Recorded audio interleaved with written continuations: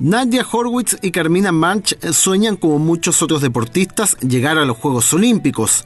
Carrera de largo aliento y en el caso del deporte que practican, la navegación a vela se torna cuesta arriba por los altos costos de esta disciplina. Por ejemplo, es necesario disponer de embarcación no solo en el país, sino que también en el exterior. Por ello, el apoyo de la empresa privada es vital. Muy alto, o sea, solo pensar que tenemos que tener un barco en Sudamérica, otro en Europa. En Europa no solo el barco, el bote de goma de apoyo para el entrenador, el carro, el auto para trasladarlo, los pasajes a Europa. Y aparte estudiando ingeniería, o sea, también uno está estudiando una carrera que por sí no es barata. Horwitz y Manch competirán en la clase 470 tras años de éxitos en la categoría 420. El desafío ahora es mayor y el tiempo que deberán invertir en los viajes complica a cualquier estudiante, más a Nadia, de 18 años de edad y en primer año de ingeniería.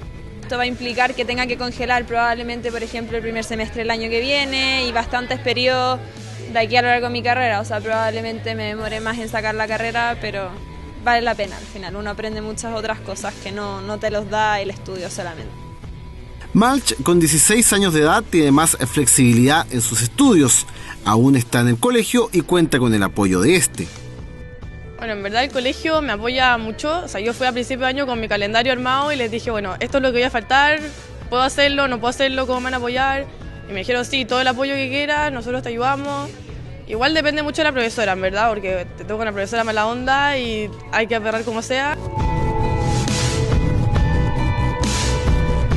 No solo los viajes quitan tiempo, competir en un velero requiere horas de entrenamiento no solo teórico, sino que físico.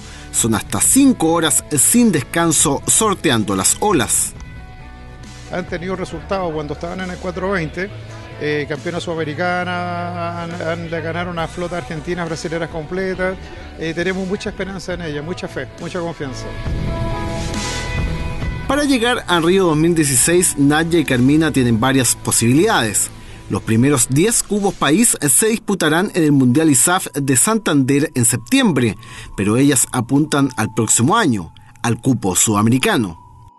Santander, si bien es la primera etapa clasificatoria, no es objetivo para nosotras ya que está muy lejos, o sea, sería absurdo pensar que clasificaríamos en Santander. Hay que ser un poco realistas y aterrizadas en la vía. Sí, quizás puede ser la oportunidad de clasificar en la segunda etapa. sería muy lindo clasificar en ese, pero también es muy difícil. Y si no, ya está el cupo sudamericano, que es donde vamos a poner todas nuestras fuerzas para clasificar ahí en caso de que no clasifiquemos en la segunda etapa. Un largo camino que recién está comenzando esfuerzo que esperan se vea reflejado en la meta, estar en la línea de salida de Río 2016.